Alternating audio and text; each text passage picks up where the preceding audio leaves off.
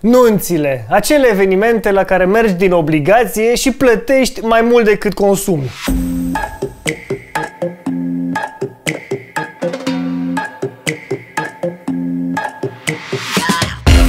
Eu nu practic acest sport, dar de la cunoștințele mele care merg la nunți, am tot auzit dume de genul cât se mai dă la nuntă?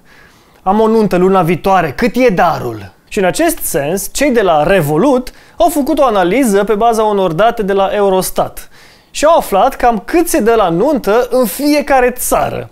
Și rezultatele s-ar putea să vă surprindă. Românii sunt aproape cei mai darnici din lume când vine vorba de pomană, adică, scuze, darul de nuntă. Românii dau în medie între 100 și 500 de euro în funcție de gradul de rudenie și de apropierea de tinerii miri. Italienii și japonezii de asemenea sunt darnici, aceștia dau uh, tot ca românii până în 500 de euro, respectiv 370 de euro în cazul japonezilor. Însă cel mai mic dar de nuntă se dă în Germania, între 30 și 70 de euro. 30 de euro, adică aia înseamnă 150 de lei. Pe cu așa invitație și în pagubă, adică 150 de lei de persoană nu e nici măcar meniul. Unde mai rămân bani de lăutare, de MC, de bocitoare, de... S-au ales la următoare, nu? Bocitoarele. Da. În Marea Britanie sunt ceea ce se numesc registre de nuntă, în care mirii trec ce obiecte își doresc și invitații, în funcție de posibilități, cumpără de pe lista aia ce pot. E ca un fel de scrisoare către Moș Crăciun pentru adulți. Și apropo de Revolut, începând de anul acesta, ANAF poate urmări și pune popriri pe conturile de Revolut. Deci adio câștiguri din cripto transferate pe Revolut. Decizia vine în urma unei sentințe judecătorești obținută de un executor împotriva unei persoane care datorează bani unei alte bănci. Și decizia judecătorului practic creează un precedent pe care ANAF îl poate folosi pentru a lua la bani mărunți conturile românilor. Revolut care a fost o revoluție pe piața bancară din România. Puteai să îți creezi carduri virtuale de unică folosință, aveai cashback la toate tranzacțiile, plăți instantaneu către prieteni, seife virtuale în care puteai să strângi bani cu alți prieteni. Era tare. Astăzi însă ING s-a mișcat foarte repede și are aproape toate aceste features direct în Homebank. Dar ING-ul era frunzărit de ANAF. Revolutul nu era.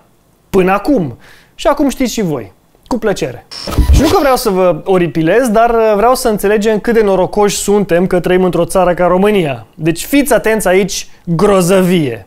O studentă din Nigeria a fost uh, ucisă în bătaie și incendiată de colegii ei din cauza unui mesaj pe WhatsApp.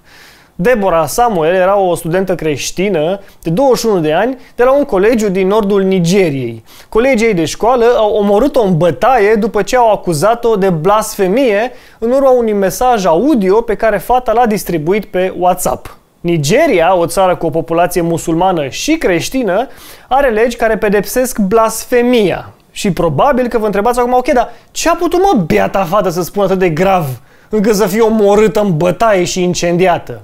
Păi simplu, a postat un mesaj audio pe un grup de WhatsApp în care spunea că acel grup a fost creat pentru teme, teste și examene, nu pentru mesaje religioase. În Nigeria, cei care au fost acuzați de blasfemie de cele mai multe ori au fost linșați în stradă.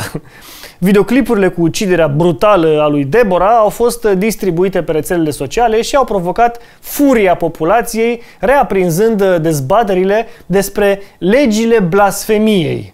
Eu zic să aveți grijă cu dezbaterea că e periculoasă în Nigeria. Dacă din greșeală, nu știu, îți așezi berea pe Biblie, te linșează ăștia în stradă.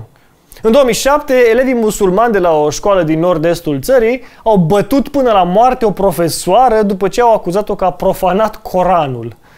Nu știu, deci, deci probabil că și-a pus femeia ochelarii pe Coran. Știi? După o lecție și-a pus ochelare pe Coran și așa, elevii și-au luat trigger. Cum îți permiți? Deci, data viitoare când uh, crezi că e nașpa în România, aduți aminte ce există în lumea asta. Am primit clipul ăsta de la Ionuț Andrei. Nu știu exact unde a fost filmat, însă este mai puțin relevant. Relevant este că ar trebui să ai mare, mare grijă când deschizi portiera mașinii, mai ales în trafic. Menționez că nimeni nu a fost rănit în filmuleț, deși la prima vedere așa ar părea.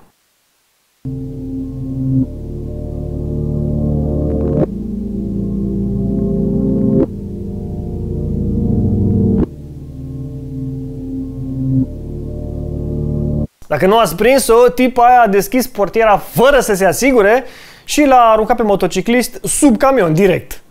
Cum e trei, eu zic să pui la loto, ca azi e ziua ta norocoasă.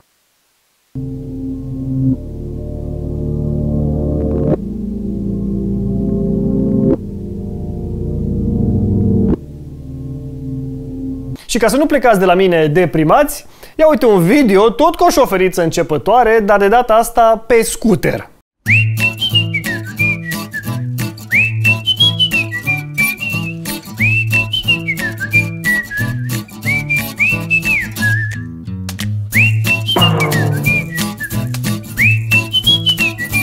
Mă, tu te dai la mine!